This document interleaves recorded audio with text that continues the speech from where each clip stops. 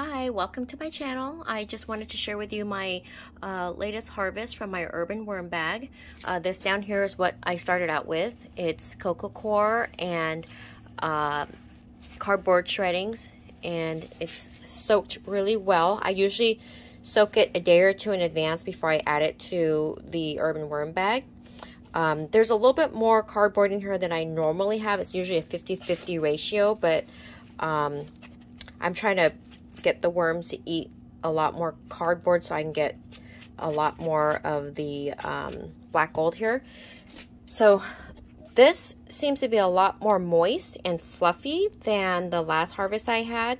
And it could be just a combination of the diff uh, different foods I'm feeding them. And then also um, I've been a little bit more diligent about uh, giving them, uh, putting water on top of the bin. So, and, and I still leave my zipper open. I don't ever close it up because it's in my garage. So, um, but yeah, on camera here, it's a lot lighter in appearance, but in person, it's literally like black gold. It's very dark, dark, and just really beautiful. It has no odor. It's actually rather earthy, but it's just gorgeous and super fun to run your fingers through. So if you stick with it, you can get this beautiful, beautiful black gold here. Um, but I'll show you my urban worm bag right now. As you can see, I keep it pretty full.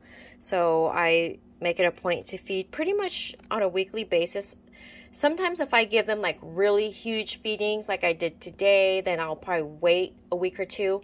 And it really depends on what it is I'm feeding them. If it's something they really like, like pumpkin or squash or uh, jackfruit or something like that, they go crazy over that. And even if I give them a huge feeding of it, it'll be gone within a week. So um, I put down the food and then I put the, uh, I sprinkle some eggshells on top, ground eggshells if I have them, and then I'll put the bedding on top. And then I just move, I go from section to section so that the worms always have a cool place to escape. This is a coconut shell they um, ate out all of the meat from the inside a while back and I'm just uh, I still have it in here. I'm just letting the worms that are still buried deep down inside of there getting giving them a chance to get out before I toss this thing. So just letting it sit on top and hoping that they'll come out of inside and go bury down into the into the bedding there. But um yeah it's been a great bin to have. You can see that the outside of it is still really clean and I've had it for I think a little over a year now and this is just a little catch bin I keep here because worms will continue to fall through the little opening. I mean, you can only cinch it closed so much. So it's a good idea to have a catch bin down there. And I even put a little food in the middle. I keep this very moist and I go in here weekly to fish out any worms that have fallen through.